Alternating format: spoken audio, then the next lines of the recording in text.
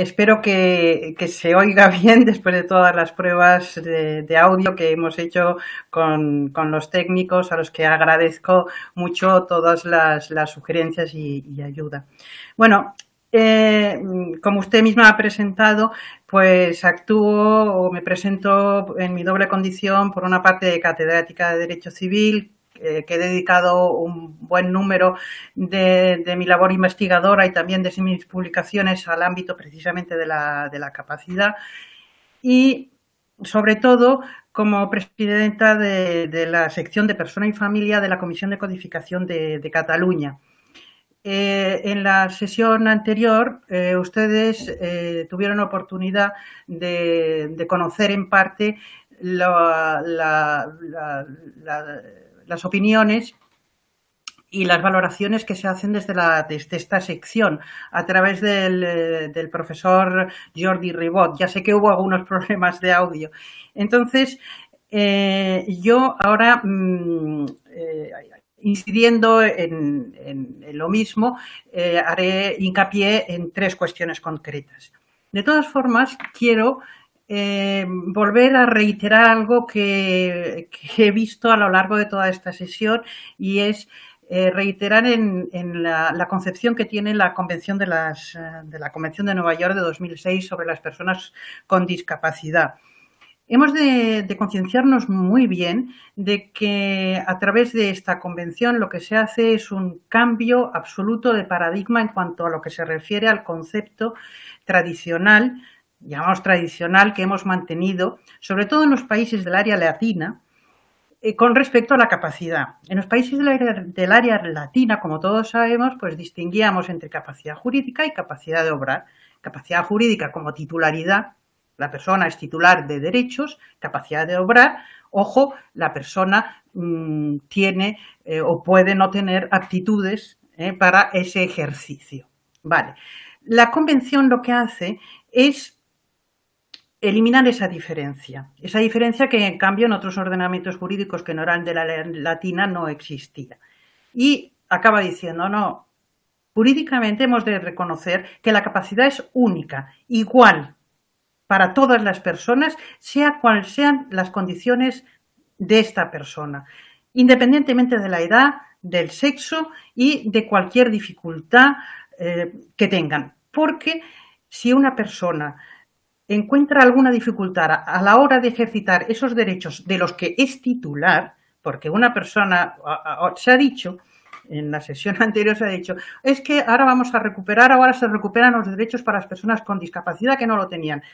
No, las personas con discapacidad tenían esos derechos. Lo que pasa es que no podían ejercitarlos. No se les procuraba medios para ese ejercicio. Y entonces lo que, lo que se hace ahora es decir, es que incluso no, no, podía ejercitarlos porque incluso para su protección los incapacitábamos a esas personas. Y lo que la convención cambia y dice, no, señor, todo el mundo tiene capacidad, todo el mundo tiene, tiene que ejercitar esa capacidad. Y si no lo puede hacer porque existe un obstáculo, la ley ha de permitir, ha de darle esos medios para que pueda ejercitar esa capacidad. Y en esa estamos. Y esta es la, finalidad que persigue la Convención, la finalidad que persigue también eh, esta reforma que ahora se presenta en este proyecto de ley de reforma del Código Civil Español. En la Comisión de Codificación de Cataluña estamos en la misma línea. Estamos ahora trabajando en esa adaptación, porque mm, con la competencia que tenemos en materia, en materia civil, el Código Civil de Cataluña pues regula la, capacidad, estamos también en esa labor de, em, de, actualizar, decimos, la, legislación civil catalana y acomodarla a la Convención. En general, la valoración del proyecto mm, eh, es, buena, es buena. Es ha de ser muy positiva porque supone un, gran avance. Eh, es verdad que tiene diversas, o sea, tiene diferentes eh, cuestiones que pueden mejorarse, alguna quizá contradicción que ya se ha, ya se ha manifestado a lo largo de la tarde.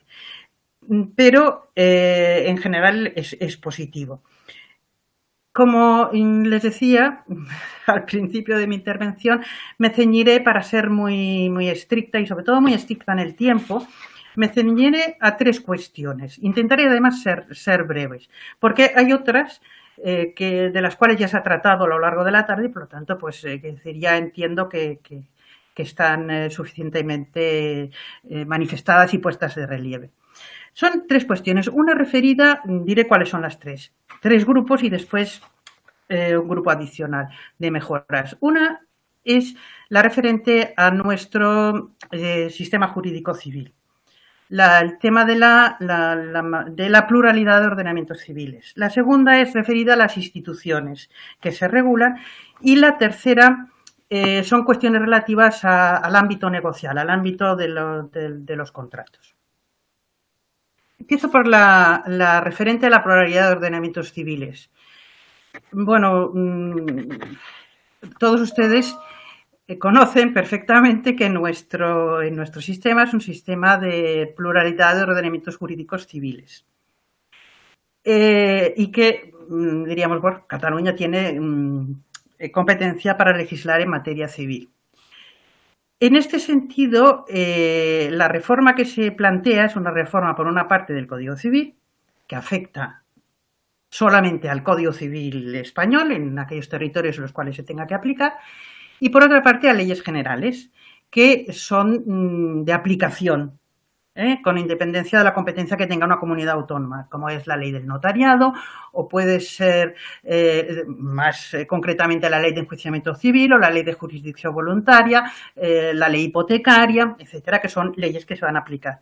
Entonces, en este punto, bueno, mm, nosotros proponemos que eh, se tenga en cuenta que hay una serie de normas que solamente se van a aplicar o que solamente van a afectar al texto del Código Civil Español y otras que, afectan a, también nos van a afectar, pero que dan la casualidad de que en el texto que se presenta eh, no se hace mención de ellas. ¿Mm? se hace mención del Código Civil. La ley de enjuiciamiento civil, ahora no tengo aquí a la, vista, pero son bastantes artículos, la ley de enjuiciamiento civil habla del Código Civil. Y dices, bueno, y si hay una comunidad autónoma que tiene una, norma, mm, ¿cómo se aplica esto? ¿no?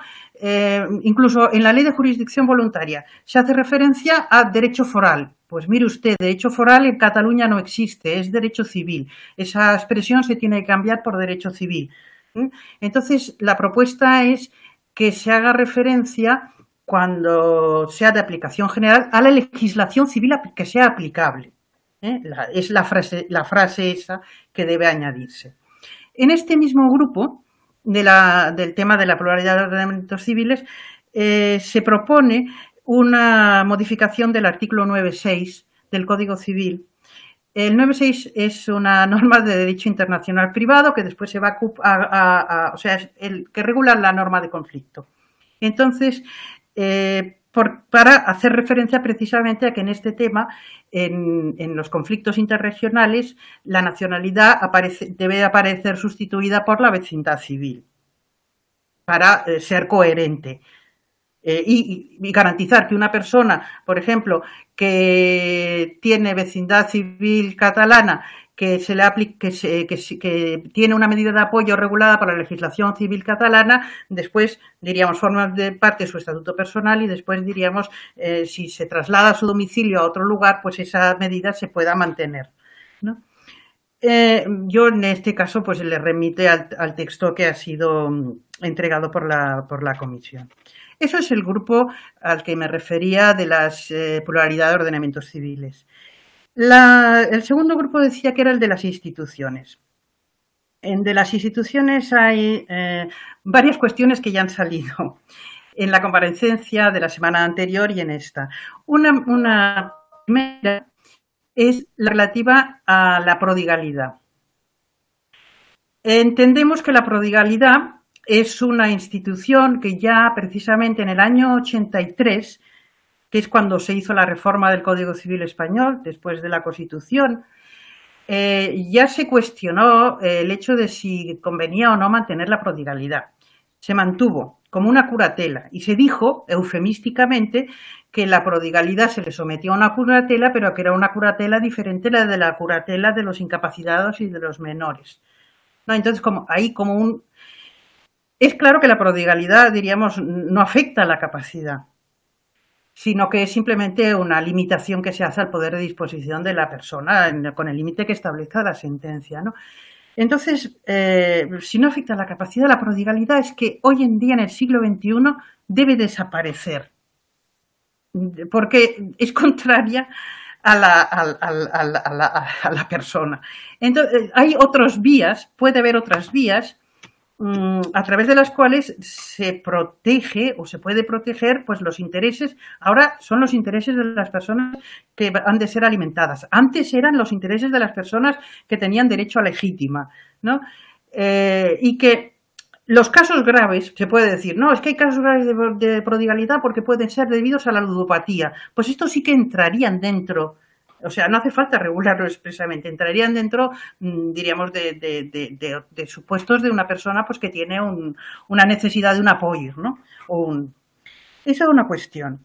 O sea, que abogamos y en el caso de que la prodigalidad se decida, no, no, es que en el régimen de Código Civil entendemos que tiene que mantenerse, bien, pero que solo, solo sea en la norma quede claro que es una institución que queda para el Código Civil. Las otras leyes civiles harán lo que tengan por conveniente su legislador. Después, la otra cuestión referente a las instituciones, eh, ya se ha hablado de ella también antes aquí, es el tema de las instituciones voluntarias. Efectivamente, las instituciones voluntarias que aparecen en el proyecto de ley son, diríamos, son las instituciones, llamémosle, eh, clásicas, pero mm, eh, se, nota, se echa a faltar otras instituciones eh, se echa a faltar la posibilidad, como se ha hecho, diríamos, de, que las, medidas que se pueda adoptar por la propia persona, pero que no sean, que no tengan nombre y apellido exactamente, o sea, poder preventivo, eh, sino que sea eh, una que, como se decía, decía antes el señor notario, que pueda ir a la notaría y llegar a un acuerdo, diseñar una forma de apoyo de tal, y tendría que mm, aparecer, por una parte, mm, expresado de, de forma más, más, manifiesta, más clara, en el, en el proyecto la referencia a las medidas voluntarias, también la posibilidad, diríamos, de aquellas medidas mm, que se pudiesen adoptar en la, en la notaría, ¿no? Em, en general a, cualquier otra, una, una, referencia explícita a cualquier otra medida de, voluntaria que pudiese adoptar la propia, la, propia persona conforme pues a su, al ejercicio de su propia autonomía y voluntad. Y, y, voluntad. Em, en este ámbito también de las instituciones, una última cuestión que se ha cuestionado eh, esta tarde misma, eh, que es el tema de la terminología de las instituciones. Bueno, entendemos que es una que es una opción que hace el legislador y que quizá para no romper con lo que puede ser, se ha hablado aquí de tradición histórica, eh, pues bueno, se ha, decidido conservar los términos de curatela y de, guarda de hecho, ¿no? Eh, bueno, la curatela no, está en una tradición tan histórica. La curatela que está en el Código Civil no es tan, histórica. Tal como la concebimos ahora, viene del año 83, o sea que apenas tiene 40 años. ¿no? La verdadera curatela era la del derecho romano. Y sí que es verdad que la curatela del derecho romano quizás se acerca más a lo que ahora se pretende hacer que la curatela que anterior. Bueno, ya digo que el tema de la terminología es, algún, es alguna cuestión, eh, es una opción, pero que sí es verdad que puede llegar, a, se ha de hacer una buena pedagogía, a lo mejor en la propia exposición de motivos, para eh, hacer entender muy bien qué es una curatela, o sea, que no hemos cambiado simplemente el nombre y mm, porque, porque es lo que está haciendo un poco ahora las sentencias del Tribunal Supremo, cuando dicen, no, ahora, ahora no, no, aplicamos la tutela, no vamos a la curatela, porque como tiene ese amplio margen, eh, tiene esa flexibilidad y, la convención se tiene que aplicar, pues Pero ya digo que es una cuestión simplemente de, de opciones. Y eh, evidentemente a estas alturas no se, no se puede pretender el, si, se ha, si se ha adoptado la, la, decisión de, hablar de curatela en vez de hablar de otro tipo de, de, institución, pues bueno, mm, eh, se respeta por, por completo. Y eh, en cuanto a la Guarda, la Guarda es una institución muy, muy útil y además eh, la guarda de hecho. Eh, que se puede ejercitar, contesto un poco a una pregunta que se ha hecho antes, se puede ejercitar cualquier persona, no necesariamente tienen que ser eh, los familiares. Y la, la, guarda, de hecho, a mí nos parece que está bien delimitada. Mm, quizá en algún punto tendría que, que, precisarse, y así lo hemos presentado en el texto, mm, que se distinguiese claramente, que hacer una distinción, sobre todo cuando se refiere a los artículos en los que se reforma, bueno, referentes al convenio regulador en, en, un, en un, supuesto de, de, separación y divorcio, distingue claramente lo que es la guarda de hecho de la guarda formal. Porque a veces hay algún artículo que habla simplemente de guarda y dices, bueno, ojo, que aquí esta no es la de hecho, es la guarda formal. O sea, la guarda formal, aquella que se adopta, eh, en la cual diríamos eh, hay una asignación específica de, esa función de guarda a, una persona. La de hecho no hay una asignación. O sea, la de hecho ocurre y después, a posteriori, cuando el juez interviene. Esto en cuanto a este bloque.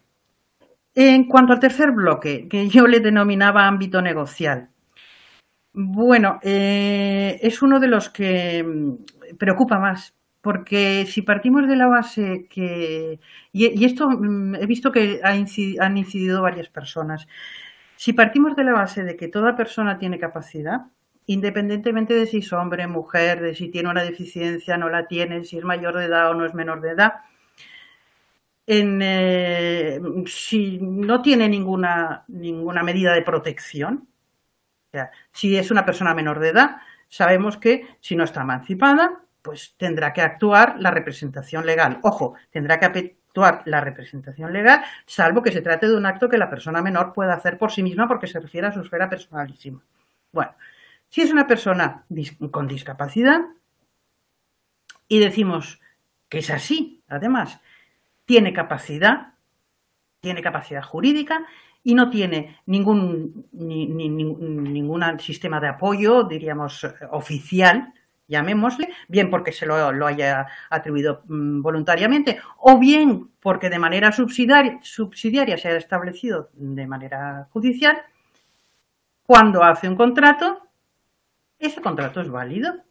No se le puede tratar, no se le puede seguir tratando como un menor de edad. Y la propuesta que se hace en los artículos 1263, en los 1301, de, en este proyecto, eh, no se distingue en si es una persona que, que, que, tiene un apoyo o no es una persona, o sea, que, que tiene un apoyo y que se conoce que tiene públicamente ese apoyo, o no. Porque si no tiene apoyo, ese acto será válido. Y también lo mismo en materia de responsabilidad responderá. Otra cuestión es que después digamos, a ver, es una persona con discapacidad, vamos a ver si realmente en el momento que dictó el acto, pues eh, lo hizo de manera libre, consciente, etcétera, etcétera, o sea, a través de la vía ¿eh? de los vicios del consentimiento. Pero en el, en el ámbito de la capacidad no podemos decir que ese acto es anulable. Por lo tanto, se ha de distinguir ahí entre eh, diríamos, eh, entre la persona que sí que tiene una medida de apoyo, entonces si la persona hace ese acto sin acreditar el, apoyo que necesita o lo hace fuera de los límites que puedan estar, que puedan estar concretados en ese acto, pues ese, claro, será anulable, entonces, bueno, los plazos, etcétera, etcétera, ¿no? Pero no en el caso contrario. Y ahí creo que diríamos, bueno, no hay, creo seguro que el, se, ha, se, ha, de adecuar el proyecto al, al, proyecto, a la propia eh, configuración que se hace del tema de la, de la capacidad. Eh, eh, bueno, finalmente, pues como ya se ha dicho aquí, eh, creemos que, ya se, ha dicho también por, por, por, alguna persona, eh, esta situación de contar con un apoyo o no, eh, es importante que conste en el, en el registro, en el registro civil de la persona. Y que se, pueda acceder a, esos datos en concreto, pues en las circunstancias en las que la propia ley determine, claro, siempre con pleno respeto a la, protección de los datos. Y estas son, así muy resumidamente y de manera sintética, las cuestiones que quería eh, poner eh, de relieve. Quedo a disposición de sus señorías para que comenten o me eh, pregunten lo que, lo que consideren conveniente. Muchas gracias. Muchas gracias a usted, señora Gete Alonso. Interesantísima su intervención. A continuación, haremos el turno de intervención de portavoces de los grupos parlamentarios y comenzará el señor Legarda por el Grupo Vasco. Sí, muchas gracias, presidente, y también muchas gracias eh, a nuestra compareciente por su exposición. Yo solo, para no cargar la tarde, que ya llevamos bastante tiempo, solo una pregunta. Y respecto al primer bloque de cuestiones es la que usted llamaba el sistema jurídico civil plural, ¿no? o, competencial, como más, eh, ¿no? Y me ha parecido que usted ha indicado, eh, bueno, que se debieran hacer una serie de, digamos, de cláusulas sin perjuicio, ir llamando eh, en las distintas instituciones, o así me ha parecido entender o deducir, digamos, a la coletilla legislación civil según sea aplicable. Y mi pregunta em, sería la siguiente. ¿No le, parece, no le, parecería eh, que quizá fuera un método mejor técnicamente eh, en vez de ir haciendo como hace el proyecto en algún, en algún artículo, no en todos, porque lo hace de manera espigada, pero no en todas las. Claro, porque los derechos civiles, forales o especiales son diversos, tampoco son homogéneos, ¿no? son, son asimétricos entre ellos. Eh, entonces, ¿no le parecería mejor, mi pregunta era, mm, que, eh, digamos, esa peculiaridad se concentrara solo en la disposición final? Es decir, el texto el texto sale sin ninguna cláusula sin perjuicio, se aplica allí donde deba aplicarse y luego, claro, en la disposición final correspondiente que se apela al soporte constitucional competencial, que dice este, esta disposición o esta ley se dicta al amparo de empieza a citar los artículos del perdón, los apartados del 149 en función de las materias, legislación civil, procesal, en fin, las que sea. ¿No le parece que, digamos, esa cláusula eh, de salvaguarda debiera estar solo en la disposición final? En definitiva, con una dicción muy parecida a la que está en el artículo 149.1.8 de la Constitución.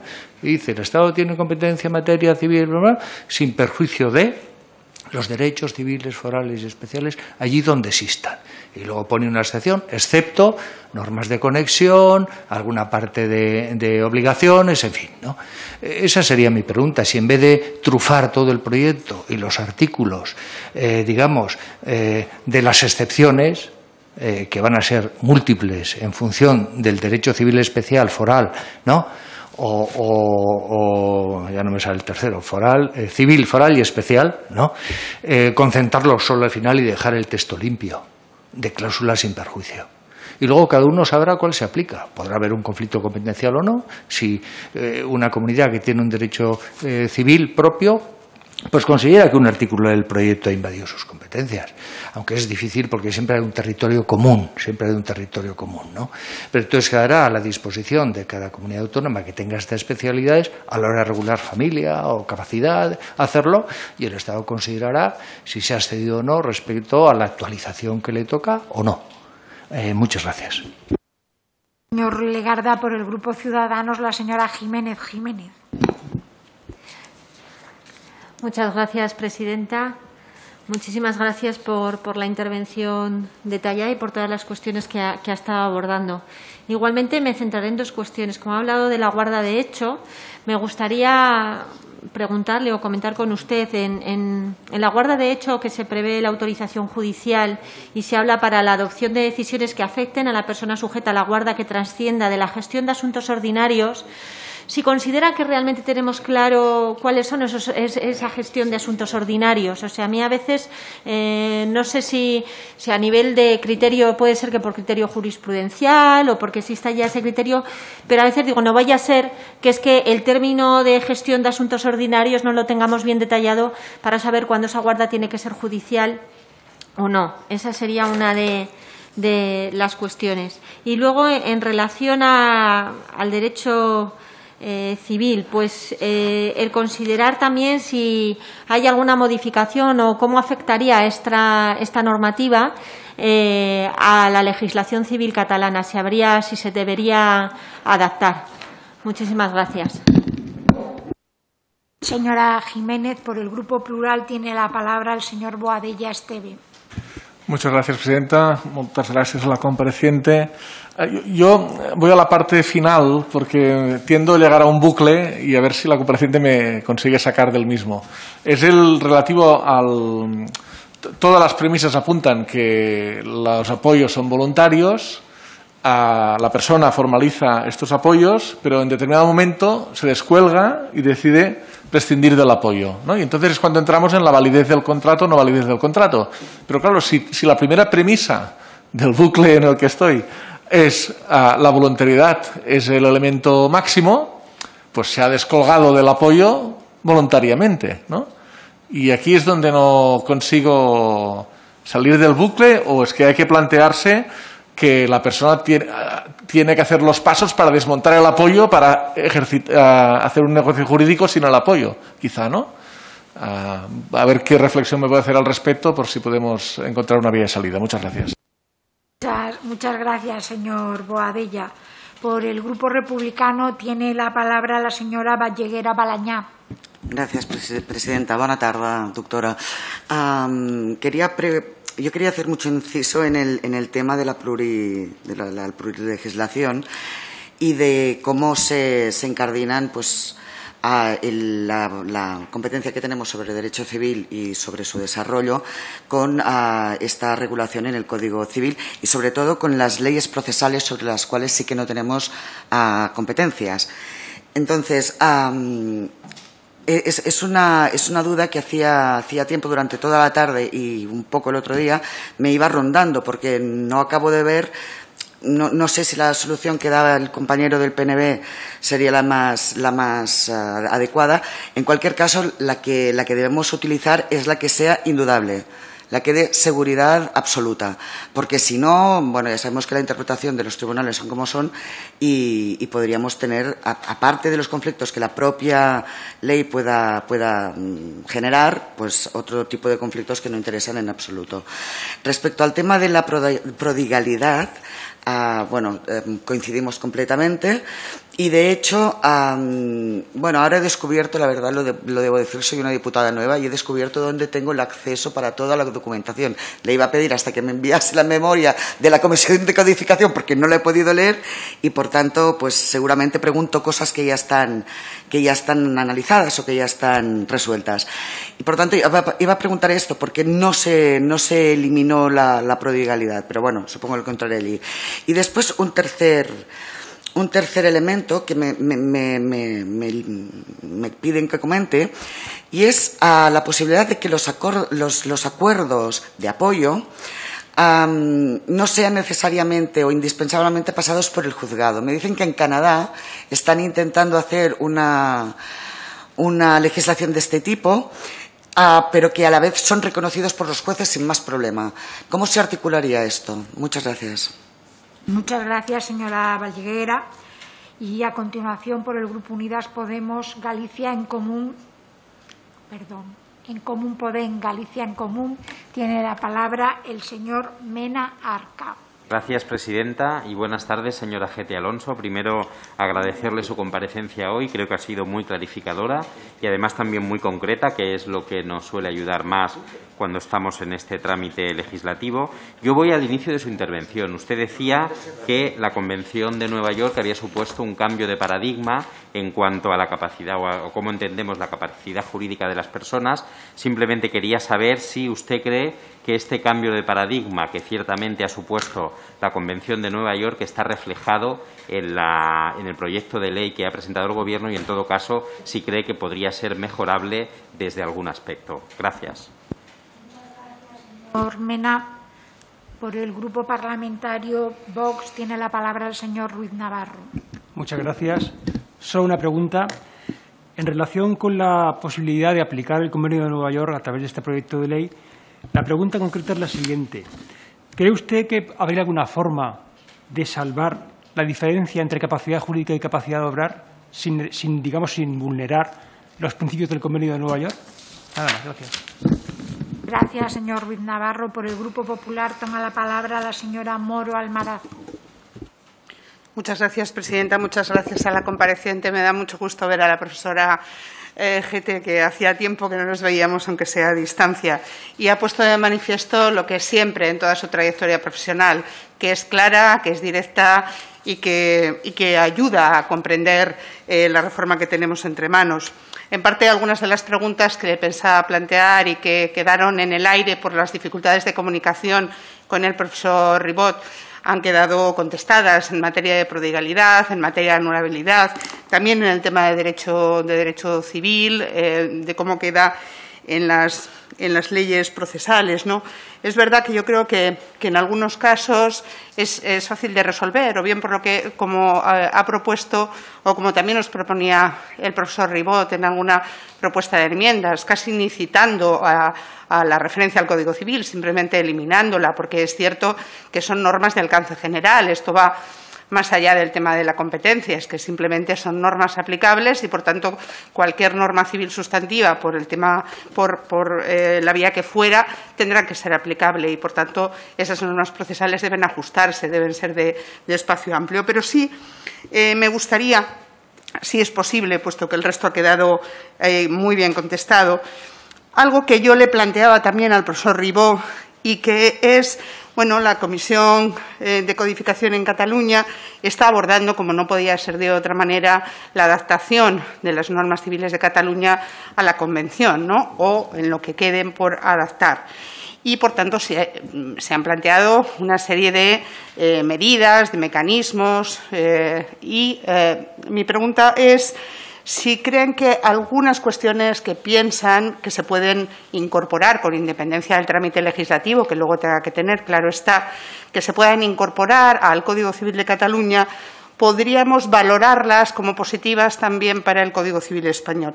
Y, en particular, me gustaría, porque ha quedado además a lo largo de la tarde y en algunos momentos, que nos planteara cuál es su posición eh, sobre el tema de la renuncia es decir, esa vertiente del eh, valor de la voluntad de la persona con discapacidad, si eh, debemos incorporarla hasta tal punto que quede, eh, que se constate que esa persona puede renunciar a los apoyos que pudieran plantearse en relación a su situación de discapacidad. Y finalmente, si cree también como nos han planteado eh, algunas propuestas, que es importante que en los procedimientos, bien en, eh, en, el trámite de jurisdicción voluntaria o después en el contencioso, el juez tenga un asesoramiento, digamos, preliminar o previo. No voy a ser técnica en este punto, pero para entendernos, es decir, que pueda recurrir y que se establezca que ese trámite debe hacerlo el juez aquellas entidades que se ocupan eh, en el sector de la discapacidad, en particular instituciones tutelares, que le puedan proporcionar al juez un mecanismo de asesoramiento sobre cuál es la situación en concreto de esa persona, cuál puede ser y qué apoyos deberían dictarse en el caso de que se estime oportuno eh, que se eh, establezca por el juez esos apoyos. Muchísimas gracias. Gracias, señora Moro. Por último, tomará la palabra por el Grupo Socialista el señor González Caballero. Muchas gracias, señora presidenta, y muchas gracias a doña María Carmen Gete por su excelente intervención. Además, eh, hay que decirlo porque mm, creo que mm, ha sido muy ilustrativa, muy clarificadora de los tres puntos que, ha tratado. Por lo tanto, yo únicamente quisiera tratar pues dos, dos cuestiones. Eh, usted lo ha dicho, estamos ante un cambio de, paradigma, de paradigma, pasar de ese modelo eh, médico rehabilitador en, materia de discapacidad a, un modelo social en el que a la persona, en, un sentido de derechos humanos, de, respeto a la dignidad, pues se le respeten y se le protejan con, determinados apoyos. En ese cambio de paradigma se produce también un debate puesto que el, proyecto de ley intenta adaptar a la ideología instituciones jurídicas de protección tradicionales de, nuestro sistema, como es la curatela, el, defensor judicial, la guardia de hecho, etcétera, etcétera. ¿Piensa usted que eh, está bien recogida esta, ideología y, sobre todo, sobre todo, mm, deteniéndonos en el eh, derecho eh, catalán, que tiene algún, otro tipo de, instituciones, como es la asistencia, si considera que se puede, se puede ampliar estas instituciones de protección al ámbito nacional? Esa es mi primera pregunta. Tengo otra, otra cuestión, al hilo también de lo que decía el, el señor Legarda sobre la aplicación del proyecto de ley en, los eh, derechos, los sistemas forales eh, y autonómicos, eh, quiero hacerle una pregunta sobre este tema, como es el régimen de colaboración que se debe realizar por las entidades del tercer sector en materia de discapacidad que tengan una vinculación y una actividad en, comunidades autónomas. ¿Cómo podemos orquestar también ese sistema de colaboración con estas entidades del tercer sector? Como viene en la, disposición adicional, ¿cómo podríamos eh, orquestar este sistema? Eh, esa es otra de las, de las preguntas. Y nada, nuevamente agradecerle su intervención y, bueno, decirle que este grupo parlamentario en este transcurso del proyecto de ley eh, tiene, tiene como mesita, tiene como libro de consulta, de los muchos libros de, consulta en su mesita de noche, ese gran libro de jornada sobre un nuevo modelo de discapacidad que, que usted coordina. Muchas gracias. Gracias, señor González Caballero. Señora GT Alonso, tiene usted la palabra para tratar de, dentro de la claridad que le ha caracterizado en toda su comparecencia y en su exposición, dar respuesta a lo que le han planteado los portavoces de los grupos parlamentarios. Muchas gracias. Eh, sí, muchas gracias. Intentaré a ver si puedo, eh, diríamos de una forma sintética, dar respuesta a, todo lo que se me ha preguntado, que ha sido mucho y muy, muy productivo. A ver, eh, el, tema relativo a la, a, los, a la plurilegislación civil. a ver, yo entiendo que una disposición final no, no a mí no me, no me gusta especialmente. Eh, pero bueno, se puede acudir a ella. Y no me gusta especialmente tampoco eh, una disposición final que además recogiese el 149 un octavo, eh, porque no, para mí no quedaría claro. Sí que en cambio comparto lo, que, lo que se ha dicho de que es verdad que a lo mejor el texto, la redacción del texto se puede pulir y simplemente hablar de legislación civil y punto. Y con decir legislación civil o legislación civil aplicable o incluso en ocasiones sin mencionar la legislación civil, porque a veces no es necesario mencionarla, eliminarlo y con ello ya se entiende que al interpretar el artículo, pues ya se ve si es un precepto que se aplica, que es de aplicación general a toda España, o si es un precepto que, que se refiere solamente al, Código Civil español. Sí que es verdad que en el caso, por ejemplo, en materia de prodigalidad, si se decide mantener la prodigalidad, está claro que eh, se ha de decir que, se aplique, que la prodigalidad se mantiene en ese texto porque puede que haya otros textos que en cambio no recojan la, prodigalidad. O sea que en ese punto quizá eh, si se pule un poquito la, redacción se puede, eh, se puede, diríamos, solucionar de una forma muy, muy, muy fácil, ¿no? Em, a ver, se me ha preguntado sobre el tema de la guarda de hecho. La guarda de hecho, diríamos que cuando se requiere autorización judicial bueno, cuando se dice, se trata de la gestión mm, que, exceda los asuntos ordinarios. ¿Cuándo sabemos que son asuntos ordinarios? Pues mire usted, eso pasa en, múltiples instituciones dentro del propio Código Civil, tanto el Código Civil español como la compilación navarra, como el Código Civil de Cataluña, cuando habla, por ejemplo, de los asuntos propios según la edad de, la persona menor, que eso es, eso es muy, muy frecuente. Y entonces aquí, pues es claro, la referencia a la gestión de los asuntos ordinarios se refiere, los asuntos ordinarios son los de la vida, habitual de la persona, eh, teniendo en cuenta las circunstancias y el entorno en que se mueve. Entonces, de acuerdo con esas circunstancias, mm, entonces, se, ve si realmente eh, lo que se pretende es gestionar asuntos que exceden de esa normalidad y para los cuales entonces sí que se requerirá. Pero sí que, eh, diríamos, mm, no creo tampoco que eh, un código civil deba definir lo que son los asuntos eh, ordinarios, ¿no? Pero bueno, un poco es la idea, sí que es una, una válvula quizá muy, muy, muy genérica. La, legislación eh, civil catalana se me ha preguntado también si tiene, eh, si tiene de qué manera afecta eh, esta modificación a la legislación civil catalana o si la legislación catalana de adoptar alguna. Bueno, pues mire usted, no. la legislación civil catalana, en lo que es estrictamente la legislación civil, hará lo se hará lo que se crea oportuno. El Código Civil hará lo que crea oportuno y, no, no, se influyen. Sí que es verdad que, la idea es de que no existan diferencias ni las habrá tampoco, porque diríamos la filosofía es la misma, ¿no? Mm, pero diríamos, mm, como tampoco afecta a Navarra o tampoco afecta a Aragón, ¿no? Y en este sentido, pues cada, ordenamiento civil pues tiene las instituciones eh, que se considera. Em, se me ha preguntado por el tema del, Sí, de los, de los apoyos eh, voluntarios, ¿qué ocurre? Bueno, esto es lo que ha salido, ha salido el tema de la renuncia y ha salido la cuestión relativa a la, voluntad. Los negocios jurídicos hechos sin apoyo, ¿qué ocurre que los, bueno, los negocios jurídicos son aquellos que no se ha acudido al apoyo porque la persona ha dicho yo no quiero este apoyo. Y entonces la otra cuestión es, ¿puede renunciar?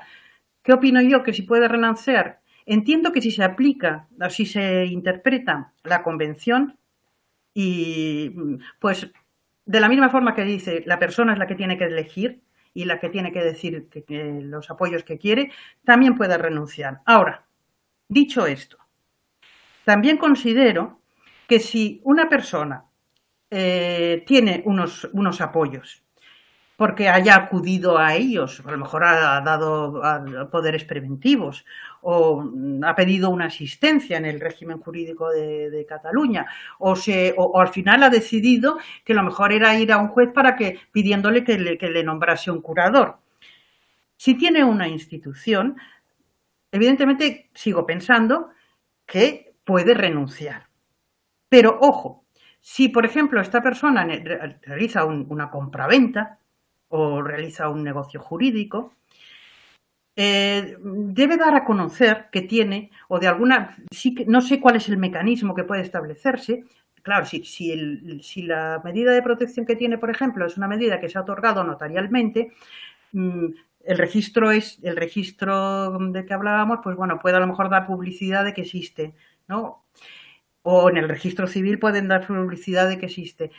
Pues eh, en el momento de hacer la renuncia, esa renuncia tenga que hacerse ante el mismo funcionario o autoridad ante el cual se ha otorgado eh, esa medida de apoyo. Esa sería más o menos, pero bueno, claro, ahora estoy un poco eh, pensando sobre la marcha.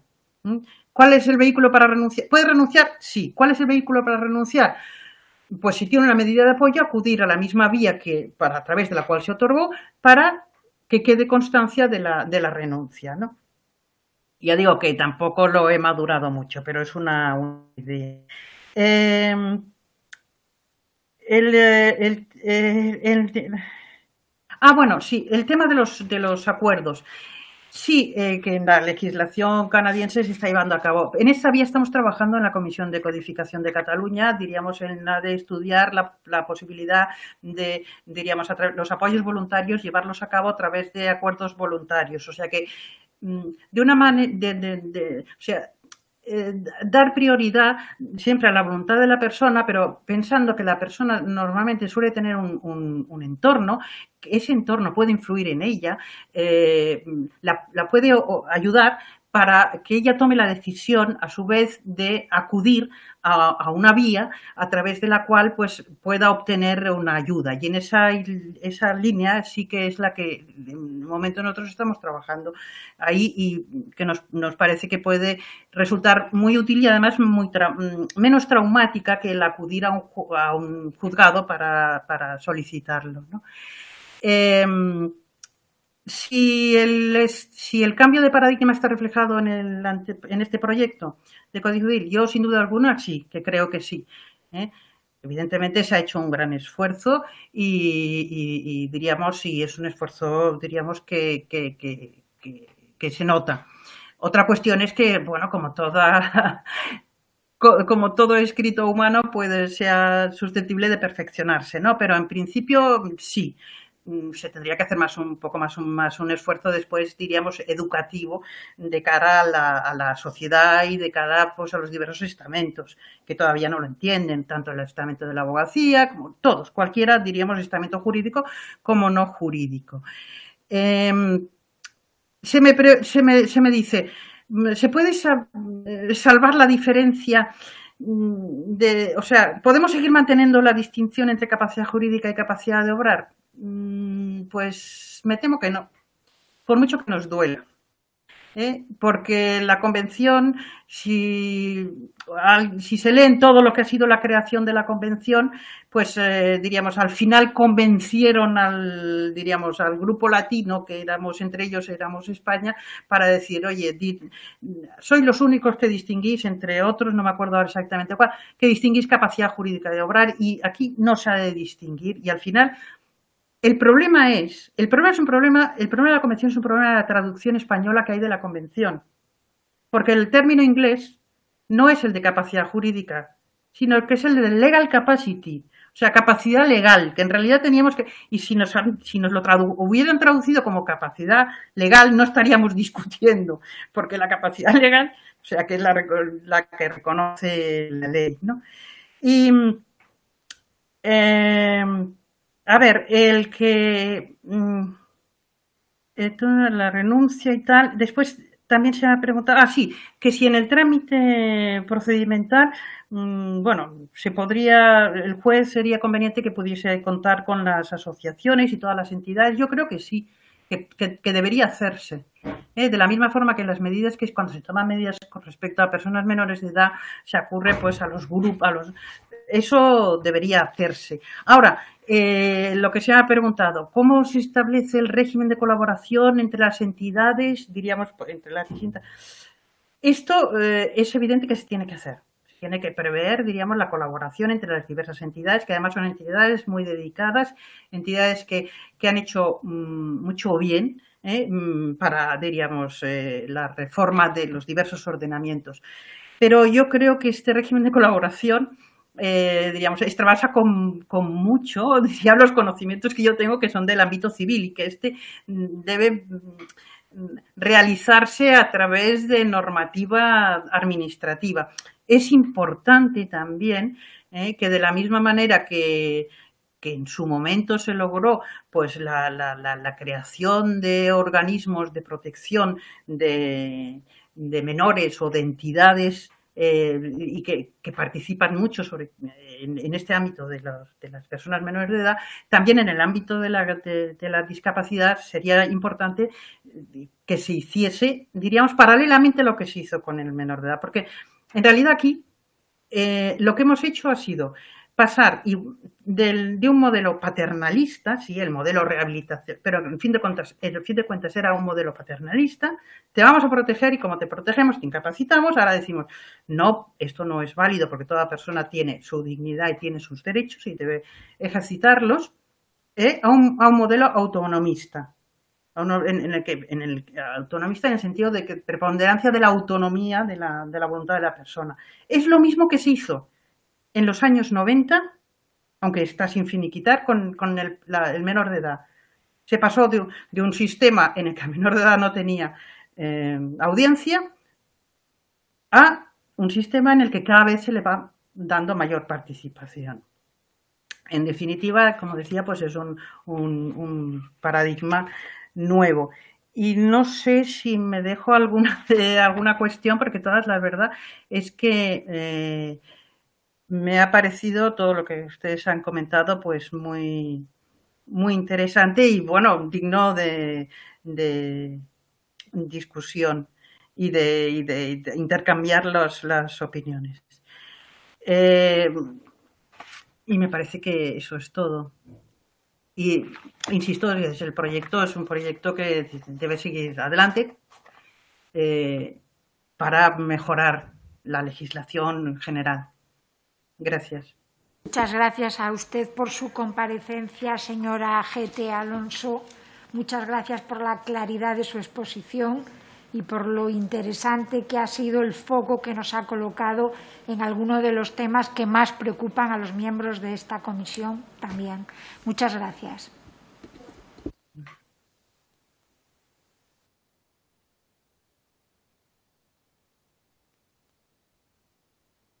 Esta tarde y pido a la siguiente compareciente que ya estaba esperando que se incorpore a la mesa.